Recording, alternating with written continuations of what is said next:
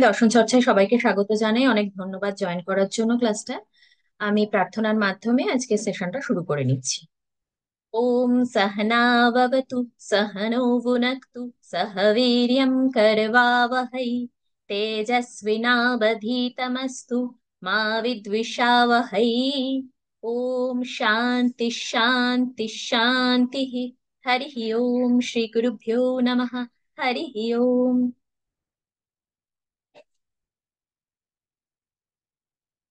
আশা করছি স্ক্রিনটা দেখা যাচ্ছে। হ্যাঁ দেখা যাচ্ছে। আচ্ছা তো আমরা সিম্বলিক লজিকের আলোচনা শুরু করেছিলাম। সিম্বলিকের লজিক সিম্বলিক লজিকের আলোচনায় আমরা আগের দিন অর্থাৎ এই ওয়েস্টার্ন লজিকের ইন্টারমিডিয়েট লেভেলের যে প্রথম ক্লাসটা গত রোববার হয়েছে সেখানে আমরা এই সিম্বলগুলো সম্পর্কে দেখেছিলাম। তো আমরা এই সিম্বলগুলো দেখেছিলাম ট্রুথ টেবল করার জন্য সত্য সারণী যেটাকে বাংলায় বলা হচ্ছে। এখানে আমরা কয়েকটা বিষয় পাচ্ছি যেগুলোর সিম্বল আমাদের জানা প্রয়োজন। শুধু এই ট্রুথ টেবল করার জন্য নয় ট্রুথ টেবিলের পরবর্তীতে যখন আমরা নাইনটিন রুলস এর কাজ করব বা যখন ট্রুথ টেবিলের মাধ্যমে কোনো যুক্তির বৈধতা নির্ণয় করব, যখন যুক্তিটা ছোট থাকে তখন সেটা ওই ট্রুথ টেবিলের মাধ্যমে নির্ণয় করা যায়। কিন্তু যুক্তিটা গিয়ে যখন বড় হতে থাকে যুক্তির ক্ষেত্রে তখন গিয়ে বা কোনো একটা পার্টিকুলার সিদ্ধান্ত বার করার কথা বলছে, তখন গিয়ে আমাদের প্রয়োজন পড়ে অবরোহ পদ্ধতি বা যেটাকে বলা হচ্ছে নাইনটিন রুলস নাইনটিন রুলস বলা হচ্ছে কারণ এখানে উনিশটা নিয়ম ফলো করা হচ্ছে। তো সেই জায়গাটায় যাওয়ার আগে আমাদের এই সিম্বলগুলো জানা প্রয়োজন। কারণ এই সিম্বলগুলো আমরা যদি না বুঝতে পারি ভালো করে, তাহলে কিন্তু আমরা ওই পরবর্তী জায়গাটাকেও ধরতে পারব না। তো পুরোটাকে বোঝার জন্য আমাদের বেসটা ভালো হওয়া দরকার। আর এই বেসটা ভালো হওয়ার জন্য বিষয়টাকে আমাদের উদাহরণের সাহায্যে বুঝে নেওয়া দরকার। আমরা যেরকম আগের দিন যেটা দেখেছিলাম, সেটা নিয়ে একটু আলোচনা করিনি আমি পরের যে স্লাইডগুলো আছে, সেখানে যেরকম আমরা নাইনটিন রুলস এর যে রুলসগুলো রয়েছে, নটা, দশটা সিপির রুলস তারপরে ইনডাইরেক্ট প্রুফ বা আইপির রুলস সেইগুলো দেখিয়েছিলাম আমি। কিন্তু এগুলো নিয়ে পরবর্তীতে এক এক করে আলোচনা আসবে এবং সেই আলোচনাগুলো আসার আগে আমাদের ফার্স্ট যে সিম্বলগুলো জানা দরকার, সেই সিম্বলগুলো নিয়ে আলোচনা। প্রথম সিম্বল হচ্ছে ডট একটা ডট আমরা ডট শব্দটা এমনিও ইউজ করি, সেই ডটের মাধ্যমেই যে সিম্বলটা বোঝানো হচ্ছে, সেটা বোঝানো হয় অ্যান্ড এর জন্য। অ্যান্ড কে ডিনোট করার জন্য ডট সিম্বলটা বোঝানো হচ্ছে। তারপরে আসছে কার্ল বা কার্ভ বা টাইড এটা হচ্ছে ডিনায়াল বা কন্ট্রাডিকশন বা নেগেশন বোঝানোর জন্য। তারপরে আসছে হর্স শু বা ইমপ্লাইজ এটা কন্ডিশনাল বাক্যগুলোকে, বচনগুলোকে বোঝানোর জন্য ব্যবহার করা হয়, যেখানে ইফ দেন থাকছে। তারপরে আসছে ডিসজাংশন যেটা অর অথবা বোঝানোর জন্য যে জায়গাটা ইউজ হচ্ছে ভেলের মাধ্যমে। এবং সবশেষে আসছে বাই কন্ডিশনাল বা ইকুইভ্যালেন্ট এটা দুটো দিক যেটা আছে, এক পাশে ধরা যাক পি আছে, এক পাশে ধরা যাক কিউ আছে। পি আর কিউ এর মান সমান, এটা বোঝানোর জন্য ইকুইভ্যালেন্ট সাইনটা ব্যবহার করা হয়।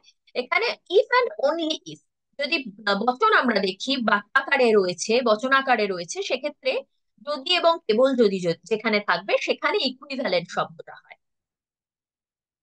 যদি এবং কেবল যদি বলতে কি বোঝানো হচ্ছে? যদি এটা ঘটে এবং কেবলমাত্র যদি এটা ঘটে, তাহলেই এটা ঘটবে। এইরকম ক্ষেত্রগুলোতে বাই কন্ডিশনালটা হচ্ছে। তারপরে আমরা এই ট্রুথ টেবিলটা দেখেছিলাম। এখানে আমরা পাচ্ছি P R Q P Q in the sense এটা ফর্মুলা আমরা যখন সেন্টেন্সের মাধ্যমে করব আজকে, তখন বিষয়টা আরেকটু ভালোভাবে বুঝতে পারব এবং কীভাবে এই ফর্মুলাটাকে কাজে লাগানো যায় সেটাও দেখব। তো এটা হচ্ছে ফর্মুলা যেরকম আমাদের অঙ্কে আমরা যখন ছোটবেলায় করেছি A plus B whole square তার একটা ফর্মুলা রয়েছে। কিন্তু আমরা যখন তারপরে সেটাকে অঙ্কে কাজে লাগাচ্ছি সবসময় যে এ প্লাস বি থাকবে, অন্য কিছু থাকবে না, এমন কিন্তু নয়, অন্য কিছুও থাকতে পারে। এই ফর্মুলাটা ব্যবহার করে আমাদের অঙ্কটাকে সমাধান করতে হতো ঠিক একইভাবে এইটা হচ্ছে ফর্মুলা এই ফর্মুলাটা ব্যবহার করে আমাদের সলিউশনটা বার করতে হবে। এমনও হতে পারে, ধরা যাক পি কিউই দেওয়া আছে, কিন্তু ক্যাপিটালে দেওয়া আছে, বা হয়তো এবিসিডি দেওয়া আছে। বা হয়তো পি কিউ আর দেওয়া আছে? তিনটে বচন তিনটে বিকল্প বা তিনটে সংযোগী থাকলে কি করতে হবে সেটাও আমি দেখাবো। পি কিউ থাকলে এরকম ভাবে হচ্ছে। যখন তিনটে হয়ে যাবে, এখানে যেটা দুটো দুটো রয়েছে, যখন পি কিউ আর এসে যাবে আর এর মানটাই কিউ এর মান যেরকম রয়েছে এক্সাক্ট সেম হবে। পি এর মানটা তখন কিউ এর মানে চলে আসবে। টি টি এফ এফ আবার টি টি এফ এফ আর পি এর মানে সেক্ষেত্রে আসবে চারটে টি চারটে এফ এইভাবে আমরা ওটারও আমি একটা স্লাইড বানিয়ে রাখব বোঝার সুবিধের জন্য বা যদি স্লাইড বানানো না হয়েও থাকে মানে যেরকম আজকে আমার স্লাইডটা বানানো নেই কিছু, আমি পরে হোয়াটসঅ্যাপে শেয়ার করে দেবো জিনিসটা। সেক্ষেত্রে বিকল্পর সংখ্যা বেড়ে যাচ্ছে। যখন দুটো থাকছে পি আর কিউ তখন বিকল্প হচ্ছে চারটে। যখন তিনটে হয়ে যাচ্ছে, তখন বিকল্প হয়ে যাচ্ছে আটটা। তিনটের বেশি সাধারণত দেয় না, কারণ অত বড় সলভ করা পসিবল তো তিনটেই সাধারণত দেয়, সেক্ষেত্রে আটটা হয়ে যাচ্ছে। তো এখানে আমরা এইগুলো দেখেছিলাম আগের সেশনে এবার আজকের সেশনে আমরা এইগুলোকে কীভাবে যুক্তি বা বচন সলভ করার জন্য ব্যবহার করতে পারব, সেটা নিয়ে একটু ডিসকাস করব। প্রথমে আসছে কনজাংশন তো কনজাংশন এগুলোকে আমরা কীভাবে সিম্বলে ইউজ করব এটাও আমি আগের সেশনে হোয়াইট বোর্ডে দেখিয়েছিলাম। কিন্তু যদি একটা বচন দিয়ে দেওয়া থাকে এবং তার সত্যমূল্য নির্ণয়ের কথা বলে, এই রুলসটাকে ফলো করে সেক্ষেত্রে আমাদের কি করতে হবে সেটাও আমাদের জানা প্রয়োজন। তো সেটা নিয়ে আমি এখন আলোচনা করব। আমি এটাকে এটাকে স্টপ করে নিচ্ছি। এটা তো আমি আগের দিন পাঠিয়েই দিয়েছি তো সবার কাছে ফর্মুলাগুলো আছে। তাই আমি ডাইরেক্ট ফর্মুলাটা খাতায় খুলে রাখলে বা সামনে খুলে রাখলে সুবিধা হবে। আমি এখানে ডাইরেক্ট হোয়াইট স্ক্রিন এই হোয়াইট বোর্ডটাকে ওপেন করে দেখাচ্ছি। আচ্ছা তাহলে আমরা, ধরা যাক আমরা একটা বচন প্রথমে নিয়ে নিই। তোমরাও খাতায় লিখতে থাকতে পারো। এ, আমি মুখে বলছি, এ ডট বি একটুখানি দাঁড়াও। আচ্ছা এটা হচ্ছে এ ডট বি ভেল দেন হচ্ছে বি ডট সি এইখানে আমরা বি ডট সি এখানে আমরা দেখছি, আমি যেটা বলছিলাম, তিনটের মান পাচ্ছি এ বি সি তো এটার আমরা সত্য সারণীর মান এটাকে আমরা সত্য সারণীর মাধ্যমে কীভাবে বুঝব, সেটা আমাদের জানতে হবে।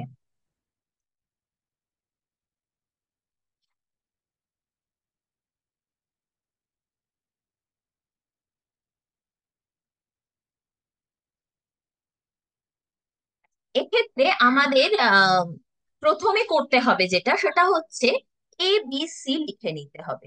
এ বি সি এবার এটা যেহেতু আমার তোমরা এই যে প্রশ্নটা বা বচনটা, সেটা একটু খাতায় নোট করে নাও।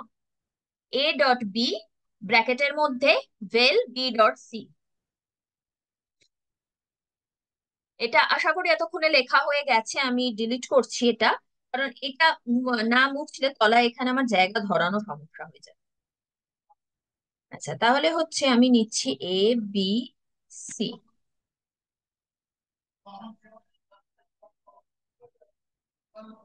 আচ্ছা এখানে তারপরে আসছে, যেহেতু দিয়েছে এ ডট বি প্রথম ব্র্যাকেটের মধ্যে রয়েছে, আমি সেটাই লিখে নিলাম এ dot B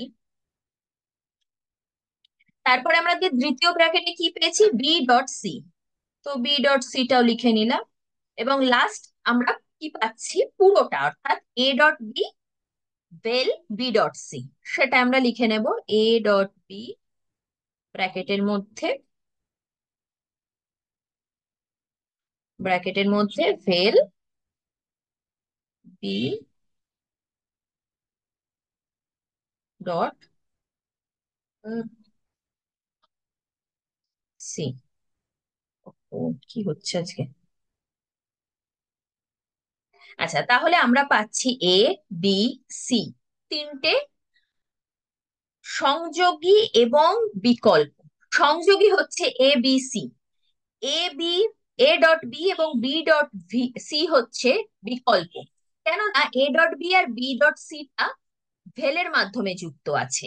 R A B সংযোগী, কেননা এ ডট দিয়ে বি এর সাথে যুক্ত আছে, আবার বি আর সি ও সংযোগী, কারণ বি ডট দিয়ে সি এর সাথে যুক্ত আছে। তাহলে এখানে আমরা এবারের সত্য মূল্যটা দেখে নেব।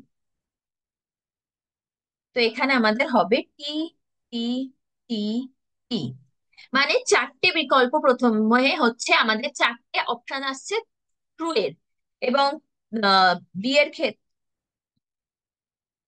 শেষ চারটে অপশন আসছে false false false and false একইভাবে বি এর ক্ষেত্রে আমাদের আসছে টি টি এফ এফ আবার T T F F C এর ক্ষেত্রে আমাদের অপশন আসছে টি এফ টি এফ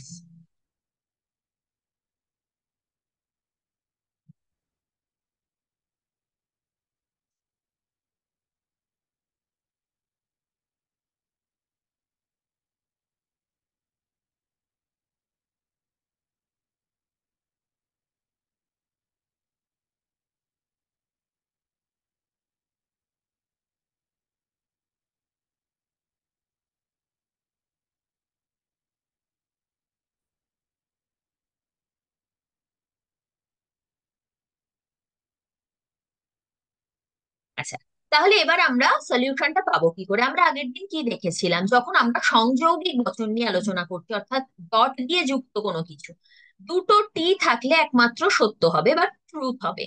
বাকি সব ক্ষেত্রে মিথ্যা হবে। তো আমরা এখানে প্রথম দুটোতে এ আর বি এর মানটা দেখব। এখানে আমরা কি পাচ্ছি? এখানে আমরা পাচ্ছি দুটোই ট্রু আছে। তাহলে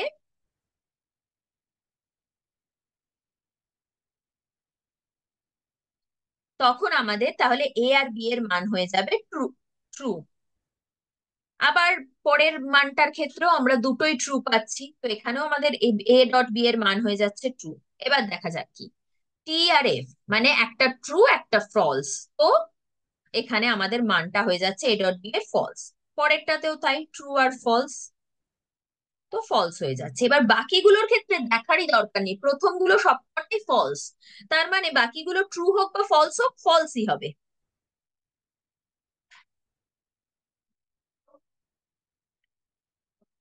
তাহলে এইভাবে আমরা পেলাম এ ডট বি এর সত্য মূল্যটা। একটা মান পেয়ে গেলাম। একইভাবে আমাদের বি ডট সি এর মানটাও করতে হবে। সেক্ষেত্রে আমরা এই যে এ এর পোর্শনটা এটাকে আর কাউন্ট করব না। বি আর সি এর মানগুলো শুধু দেখব। বি আর সি এর মানগুলো দেখতে গেলে আমরা কি পাচ্ছি? বি ট্রু সি ট্রু তাহলে আমরা পাচ্ছি বি ডট সি মানে ট্রু তারপরে ট্রু ফলস মানে হয়ে যাচ্ছে ফলস আবার ফলস ট্রু মানে হয়ে যাচ্ছে ফলস আবার ফলস ফলস মানে হয়ে যাচ্ছে ফলস এবার এখানে যে মানটা রয়েছে, তলার মানটাও same T T T F F T F F তাহলে এই একটা ট্রু হবে, বাকিগুলো হয়ে যাচ্ছে ফলস ফলস অ্যান্ড ফলস তাহলে আমরা ওই ফর্মুলাটাকে ফলো করেই এখানে এ ডট বি আর বি ডট সি এর মানটা পেয়ে গেলাম। এবার আমাদের মান আসছে এ ডট বি বি এর মান আর বি ডট সি এর মান। এই দুটোকে নিয়ে আমাদের বিচারটা করতে হবে। মানে এবারে এইগুলো ওভার এগুলোর কাজ শেষ। এবার আমাদের এই মানগুলোকে নিয়ে হিসাব করতে হবে। ওই সত্য সারণী যে ট্রুথ টেবিলটা আমরা ফর্মুলাটা আমরা আগে দেখেছি, সেটা অনুযায়ী। কেননা এখানে এ ডট বি আর বি ডট সি ভেল দিয়ে যুক্ত আছে। আর ভেলের ফর্মুলা আমরা কি রেখেছিলাম? ভেলের ফর্মুলা অনুযায়ী আমরা যেখানে কেবলমাত্র দুটোই ফলস হবে, কেবলমাত্র সেখানেই সবটা ফলস হবে, তাই তো? আমরা এইটা দেখেছিলাম যেখানে দু ক্ষেত্রেই ফলস হচ্ছে, কেবলমাত্র সেখানেই সবটা ফলস হবে। আদার্স সব ক্ষেত্রে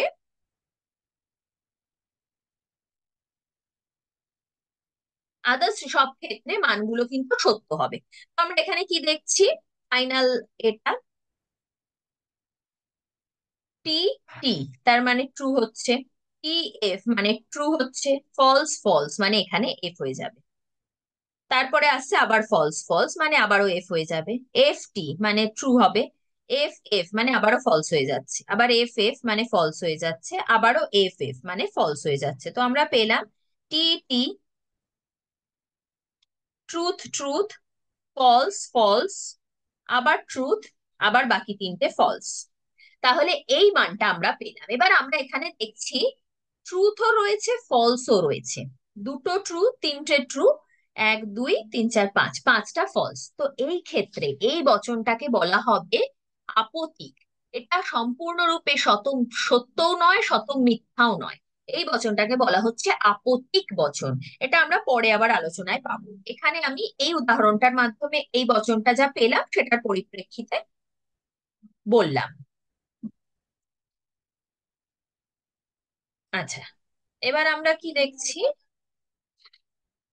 এইভাবে আমরা যে বচনগুলো আমি এছাড়া আরও কয়েকটা তোমাদের হোয়াটসঅ্যাপে লিখে পাঠাবো, যেগুলো তোমরা সলভ করে আমাকে হোয়াটসঅ্যাপ গ্রুপে হোক পার্সোনালি হোক, যেটা তোমাদের কনভিনিয়েন্ট কমফোর্টেবল মনে হবে, সেখানে শেয়ার করবে। তোমরা ঠিকঠাক করতে পারছ কিনা সেটা দেখার জন্য। আমি একটা করে দিলাম, বাকিগুলো আমি তোমাদের কোয়েশ্চেন লিখে পাঠাবো, তোমরা সেগুলো সলভ করে আমাকে দেখাবে। তো এটা হলো একটা মেথড তিনটে হলে এরকম হচ্ছে, আর দুটো হলে তো আলাদা কিছু না, সেটা আলাদা করে দেখানোর কিছু নেই। স্টিল আমি একটা দেখিয়ে দিই। এটা আমি প্রথমে এ আর বি এর মানই রয়েছে, সেই কারণে আমি এ আর বি এর মানই লিখছি। পুরো বচন যেটা, সেটা তো এন্ডে লিখব, সেখানেই একেবারে লেখা হয়ে যাবে। তো এ হয়ে গেল বি তারপরে আছে এ ডট বি তোমরাও লিখতে থাকো এটা।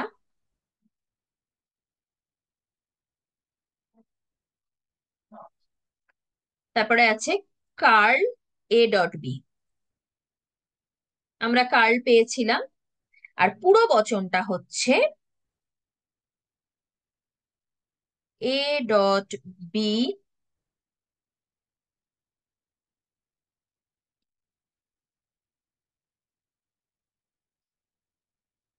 vel curl curl সাইনটা আমার ঠিকঠাক হলো না বাট তোমরা কার্লই দিও।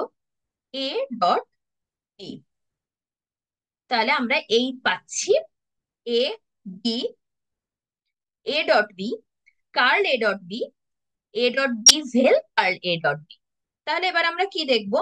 এখানে আমরা যেহেতু দুটো রয়েছে, এখানে কিন্তু মনে রাখতে হবে তিনটে নেই, এখানে কিন্তু আমরা আটটার ঘর করব না, এখানে চারটেই হবে। ট্রু ট্রু ফলস ফলস ঠিক যেভাবে আমরা ফর্মুলাতে লিখেছিলাম পি কিউ এর ক্ষেত্রে, ঠিক একইভাবে true true true false false আবার এখানে ট্রু ফলস ট্রু ফলস এটা মাথায় রাখলেই হবে। এটার কিন্তু আর কিছু উপায় নেই। এটা তোমাদের মনে রাখতে হবে। তাহলে ট্রু ট্রুতে ডটের ক্ষেত্রে কি হয়? ট্রু বাকি ক্ষেত্রগুলোতে হচ্ছে ফলস ইজি লিখে নিলাম। এবার কার্ল এ ডট বি মানে এ ডট বি এর নেগেশন মানে এ ডট বি এর যা মান আছে তার অপোজিটটা হবে। মানে ট্রু এরটা হয়ে যাবে ফলস আর বাকি তিনটেই ফলস আছে মানে বাকি তিনটে এখানে হয়ে যাবে ট্রু এবার আমরা বার করব ভেল এখানে কি বলছে? A dot B vel curl A dot B মানে এই দুটোকে ভেল দিয়ে যুক্ত করতে হচ্ছে। এক্ষেত্রে আমরা ভেল দিয়ে যদি যুক্ত করি ভেলের নিয়মটা আমরা কি পেয়েছিলাম? ভেলের নিয়মের ক্ষেত্রে আমরা দেখেছিলাম যে যখন কেবলমাত্র দুটোই ফলস হচ্ছে, তখনই একমাত্র ফলস হবে, অন্য সব ক্ষেত্রে সত্য হবে। তো এখানে আমরা কি পাচ্ছি? এখানে আমরা পাচ্ছি true false false true false true false true দুটোই ফলস কিন্তু একটা লাইনেও নেই। তাহলে আমাদের কি রেজাল্ট আসছে? ট্রু ট্রু ট্রু ট্রু এইটা হয়ে যাচ্ছে শতসত্য। এটাকে আমরা বলব শতসত্য বচন। আচ্ছা একদম রাইট সাইডের অংশটা দেখা যাচ্ছে না। রাইট সাইডে কিন্তু আমি তো দেখতে পাচ্ছি। এখন দেখা যাচ্ছে কি? একটু দেখে বলো তো। দেখা যাচ্ছে এখন? আমি দেখতে পাচ্ছি। না শ্রীপর্ণা দিকে জিজ্ঞেস করছি। দিদি দেখা যাচ্ছে কি? আপার সাইড হ্যাঁ হ্যালো হ্যাঁ বলো। হ্যাঁ হ্যাঁ হ্যাঁ এবার দেখা যাচ্ছে এবার দেখা যাচ্ছে। আচ্ছা, ওই আমার অ্যাকচুয়ালি তখন কি হচ্ছিল তোমার তোমার ছবিটা চলে আসছিল হ্যাঁ বুঝেছ? ওই ওখানটা নিচে করে দিলাম হ্যাঁ হ্যাঁ হ্যাঁ হ্যাঁ ঠিক আছে ঠিক আছে। ঠিক আছে আচ্ছা তাহলে আমরা পেলাম হচ্ছে এইটা শত সত্য বচন আগেরটা দেখেছিলাম শত এই সরি আগেরটা দেখেছিলাম, আপত্তি, এটা পেলাম শত সত্য আমি আরেকটা দেখাবো, সেটা হচ্ছে শত মিথ্যা হবে। তো এই তিনটে আমি দেখিয়ে নিচ্ছি, আর বাকি আমি আচ্ছা বাকি আমি তোমাদের করার জন্য দেবো। সেটা এখানে দিচ্ছি না, সেটা আমি হোয়াটসঅ্যাপে দিয়ে দেবো। আচ্ছা। তাহলে এর পরেরটা আমরা পাচ্ছি ধরে নি, A, B A vel B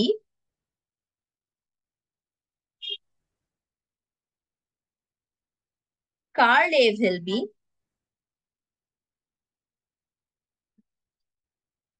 তা এইটা যুক্ত থাকবে ডট দিয়ে। A vel B dot curl A vel B আচ্ছা এটা আমার ওয়াই এর মতন হয়ে গেল বাট ওটা কিন্তু ভি এর মতন সাইনটাই হবে। একটুখানি।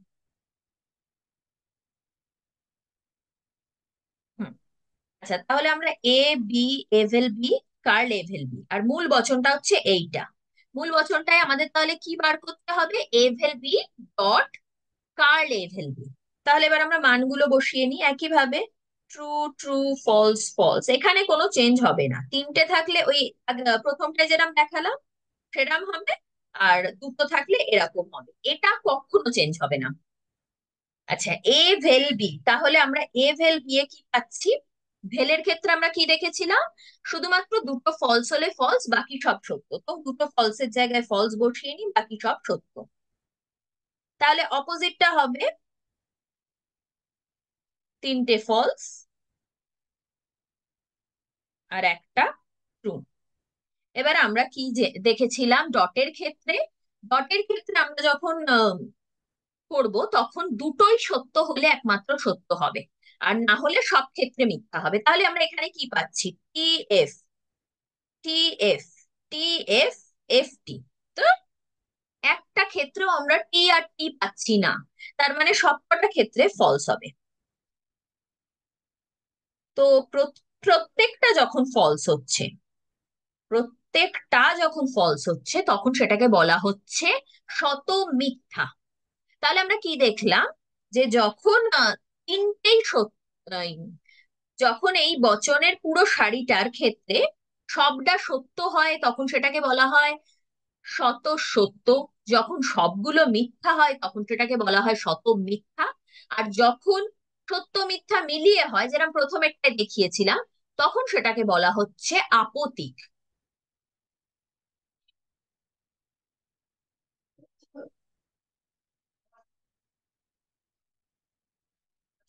তাহলে এই আমরা পেলাম বচনগুলো সত্য সারণী করলে আমরা কীভাবে সেটার মানটা বার করতে পারব? এবং সেক্ষেত্রে শুধু মান বার করা না, সেটাকে কি বচন আকার বলা যেতে পারে? সেটা শত মিথ্যা না শত সত্য নাকি আপতিক বচন? এই জায়গাটা আমরা আজকে দেখলাম। এর সাথে আমি আরেকটা জায়গা একটুখানি করিয়ে দিই, যেটা হচ্ছে এইটা একটু করাতে টাইম লাগবে। যদি কোনো একটা বচনের মান দেওয়া থাকে, তাহলে সেটার মান কীভাবে বার করা যায়? এটা করাতে একটু টাইম লাগবে। তো এটা আমি নেক্সট সেশনে করাবো। আমি অন্য একটা জায়গায় একটুখানি করাই যে, যদি বাক্যাকারে দেওয়া থাকে, আমি একটু ছোট বাক্য দেখে একটা দিই। হ্যাঁ। বাক্যটা তোমরা একটু নোট করে নাও। বাক্যটা হচ্ছে, রাম এবং শ্যাম উভয়ই আসবে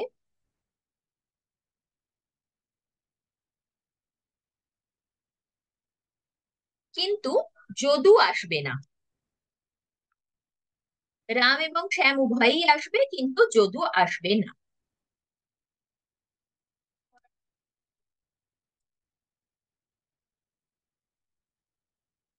তাহলে এটাকে আমরা দেখি, আমি পুরো বাক্যটাকে আর আলাদা করে লিখছি না, তোমরা খাতায় একটু নোট করে নাও।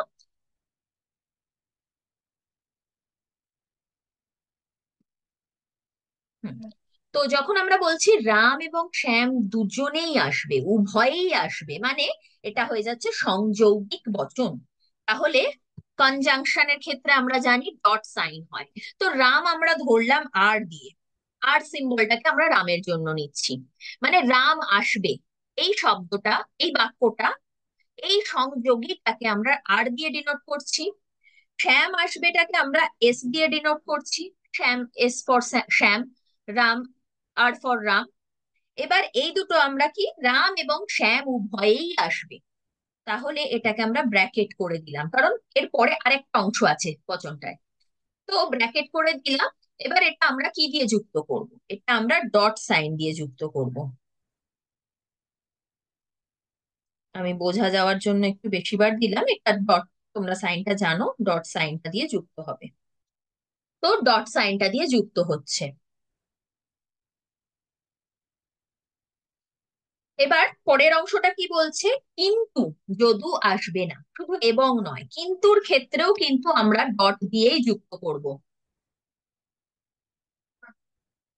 কিন্তুর ক্ষেত্রে তাহলে আমরা ডট দিয়েই যখন যুক্ত করব, তখন আমাদের কি করতে হবে? যদু আমরা ধরলাম যে দিয়ে, লিখে যে। যদু আসবে যে। তাহলে এখানে কি বলা আছে? কিন্তু যদু আসবে না। আমরা নেগেশনের সাইন কি জানি? কার্ল। তাহলে কার্ল যে হয়ে যাচ্ছে যদু আসবে না? এবার আমরা কি বললাম কিন্তু দিয়ে হলেও ডট দিয়েই যুক্ত হবে। তাহলে এখানে বসে গেল আর একটা ডট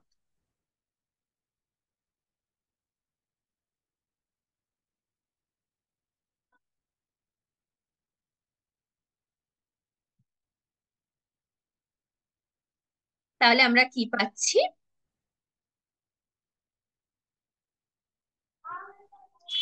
আর ডট এস ব্র্যাকেটের মধ্যে ডট আর জে এই বচনাকারটা তোমরা লিখে রাখো, এটার সত্য মূল্য কি হবে আমাকে বার করে দেখাবে।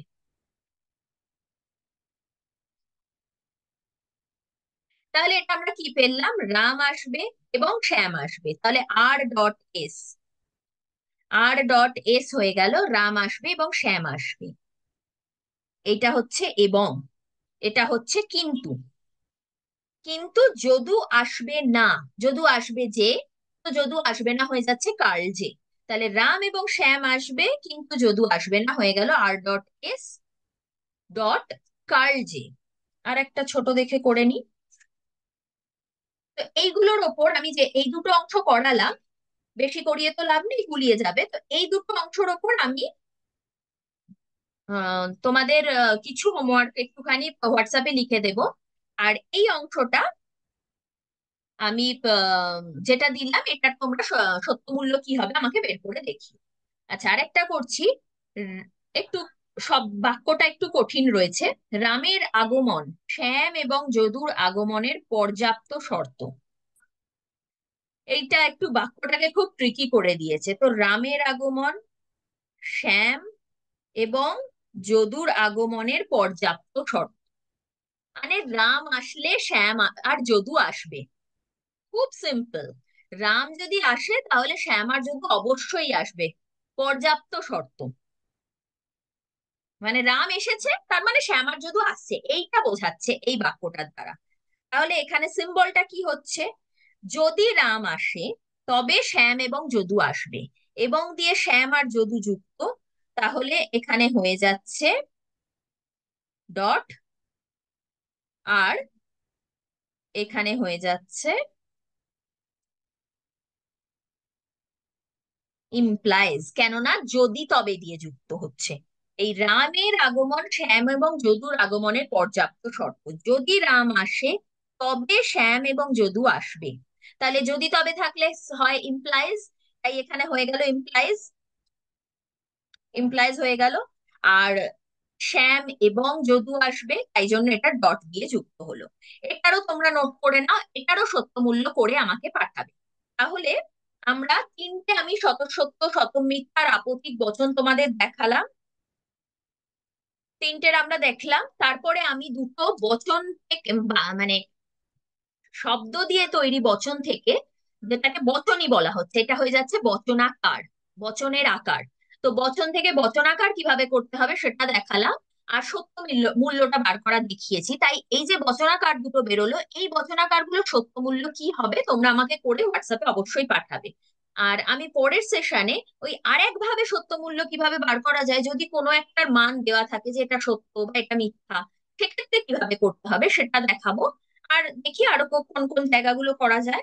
এই প্রতিকায়িত রূপেরই যদি কারও কোনো সমস্যা থাকে সেগুলো করাবো। পরবর্তী সেশনটা আবার পরের রোববার। এই সেশনটা আমি পরের রোববারে ইউটিউবে দিয়ে দেব। তো আজকে এখানে কারোর কোনো প্রশ্ন থাকলে বলতে পারো, কিন্তু আমি বলব আমাকে হোয়াটসঅ্যাপেই বলো। টাইমটা শেষ হয়ে যাচ্ছে, তাই জন্য আমি ক্লাসটা এখানেই শেষ করছি। ওম পূর্ণমদ পূর্ণমিদম পূর্ণাৎ পূর্ণমুদচ্ছতে, পূর্ণস্য পূর্ণমাদায় পূর্ণমেবাবশিষ্যতে ওম শান্তি শান্তি শান্তি। হরি ওম শ্রী গুরুভ্যো নম। হরি ওম। থ্যাংক ইউ কারোর কোনো সমস্যা থাকলে আমায় হোয়াটসঅ্যাপে লিখব।